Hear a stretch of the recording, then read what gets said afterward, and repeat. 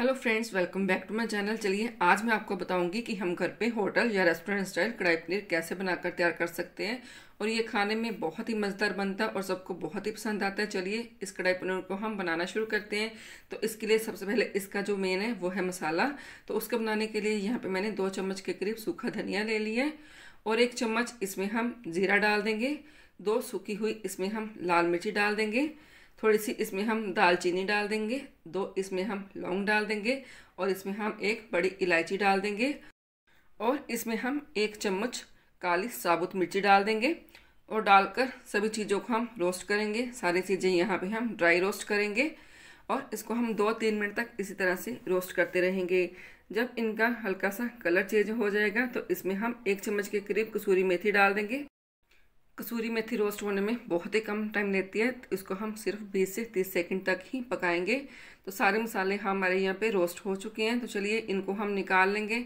तो इन मसालों को हम ग्राइंडिंग जार में निकाल देंगे और थोड़ा सा ठंडा होने के बाद सारे मसाले हम इस तरह से ग्राइंड कर लेंगे। तो सारे मसाले मैंने यहाँ पे ग्राइंडिंग जार में निकाल लिए तो कढ़ाई में अब हम घी डाल देंगे। और घी को हम हल्का सा गर्म होने देंगे। जैसे हमारा घी गर्म हो जाएगा तो इसमें हम रफली चॉप किए हुए प्याज डाल देंगे और साथ ही इसमें हम रफली चॉप किए हुए टमाटर डाल देंगे। दो से तीन इसमें हम अदरक के टुकड़े डाल देंगे और साथ ही चार से पाँच कलियाँ इसमें हम लहसुन की डाल देंगे और डालकर इनको हम अच्छी तरह से मिला लेंगे। कढ़ाई पनीर बनाने के लिए इसकी दो मेन चीज़ें हैं। एक तो है मसाला और दूसरी है इसकी ग्रेवी अगर ग्रेवी का टेक्सचर बढ़िया आएगा तो खाने में बहुत ही टेस्टी लगेगी। तो ग्रेवी का टेक्सचर बढ़िया लाने के लिए इसमें हम थोड़े से काजू डाल देंगे और साथ ही इसमें हम मगज़ डाल देंगे, जिसके साथ टेक्स्चर बहुत ही बढ़िया आता है। और थोड़ा सा पानी डाल देंगे और पानी डालकर ढक्कन दे देंगे और प्याज और टमाटर को हम सॉफ्ट होने तक पका लेंगे। और थोड़ी देर के बाद हम ढक्कन को हटा देंगे। तो प्याज और टमाटर जो है, वो हमारे सॉफ्ट हो चुके हैं। गैस का फ्लेम हम बंद कर देंगे और इनको हम थोड़ी देर ठंडा होने देंगे और ठंडा होने के बाद ही इनको हम ग्राइंड करेंगे। तो इनको अब हम ग्राइंडिंग जार में निकाल लेंगे और ग्राइंडिंग जार में निकाल कर इनको हम ग्राइंड करेंगे। तो गरम गरम इसको बिल्कुल भी ग्राइंड मत करें थोड़ा सा ठंडा होने के बाद ही ग्राइंड करें।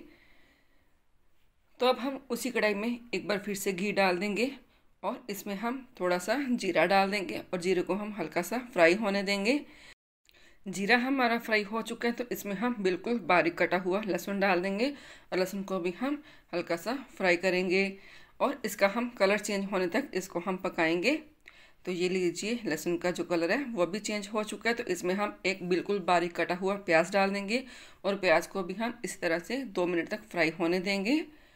तो ये लीजिए, प्याज भी हमारा फ्राई हो चुका है और इसका जो कलर है वो भी चेंज हो चुका है। तो इसमें अब हम ग्राइंड किया हुआ मसाला डाल देंगे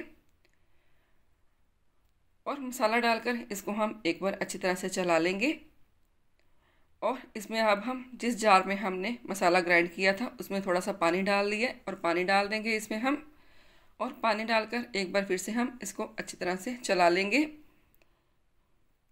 तो इसमें अब हम मसाले डालेंगे। तो सबसे पहले इसमें हम खड़े मसाले डालेंगे, जो हमने रोस्ट करके ग्राइंड किए हैं। तो दो चम्मच इसमें मैं खड़े मसाले डाल दूँगी और इसमें अब मैं टेस्ट के अकॉर्डिंग नमक डाल दूँगी। टेस्ट के अकॉर्डिंग इसमें हम लाल मिर्च पाउडर डाल देंगे। थोड़ा सा इसमें हम गरम मसाला डाल देंगे और एक पिंच के करीब इसमें हम हल्दी डाल देंगे और डालकर इनको हम अच्छी तरह से चला लेंगे। तो इसके ऊपर अब हम ढक्कन दे देंगे और ढक्कन देकर ग्रेवी को हम पाँच से सात मिनट तक मीडियम फ्लेम पे इसी तरह से पकने देंगे। तो ढक्कन को हम हटा देंगे। तो ये देखिए, इसके ऊपर बहुत ही बढ़िया कलर आ चुका है। तो ग्रेवी जो है, वो भी हमारी बनकर तैयार हो चुकी है और ये देखिए, इसका जो टेक्सचर है, वो भी बहुत ही बढ़िया आ चुका है। तो कढ़ाई पनीर की ग्रेवी हमारी बनकर तैयार हो चुकी है। तो अब हम यहाँ पे एक पैन ले लेंगे और पैन में हम एक चम्मच के करीब घी डाल देंगे और घी के गर्म होने के बाद इसमें हम कटे हुए प्याज और शिमला मिर्च डाल देंगे और हल्का सा इनको हम फ्राई करेंगे। बहुत ज़्यादा इसको हम नहीं पकाएँगे। बस एक से दो मिनट तक ही इनको हम इस तरह से फ्राई कर लेंगे। जब हमारे प्याज और शिमला मिर्च फ्राई हो जाएँगे तो इसमें हम कटे हुए पनीर के जो पीसीज हैं उनको डाल देंगे। तो पनीर के पीसेस मैंने इसमें डाल दिए हैं। तो डालने के बाद इनको भी हम एक से दो मिनट तक इसी तरह से फ्राई कर लेंगे। तो ये लीजिए, दो मिनट हो चुके हैं। तो गैस का फ्लेम मैंने यहाँ पे बंद कर दिया है। प्याज, शिमला मिर्च और पनीर को मैंने ग्रेवी में डाल दिया है।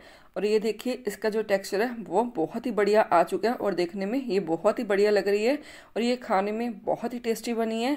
तो इसके ऊपर अब हम थोड़ी सी कसूरी मेथी डाल देंगे और कसूरी मेथी डालकर कसूरी मेथी को हम सब्ज़ी में अच्छी तरह से मिला देंगे और इसके ऊपर अब हम थोड़ी सी क्रीम डाल देंगे। अगर आपके पास क्रीम अवेलेबल नहीं है तो आप क्या कर सकते हैं, आप मलाई लें, उसको हल्का सा फेंट कर पतला कर लें और आप इसको सब्ज़ी में डाल सकते हैं। उसके साथ भी सब्ज़ी खाने में बहुत टेस्टी लगेगी। तो डालने के बाद इसको हम अच्छी तरह से फिर से चला लेंगे। और ये लीजिए हमारा होटल रेस्टोरेंट स्टाइल जैसा कढ़ाई पनीर बनकर तैयार हो चुका है। जो खाने में बहुत ही टेस्टी बने तो आप भी कीजिए ट्राई। होप करती हूँ वीडियो अच्छी लगेगी। अच्छी लगे वीडियो को लाइक ज़रूर कीजिए। वीडियो को ज़्यादा से ज़्यादा शेयर करना मत भूलिए।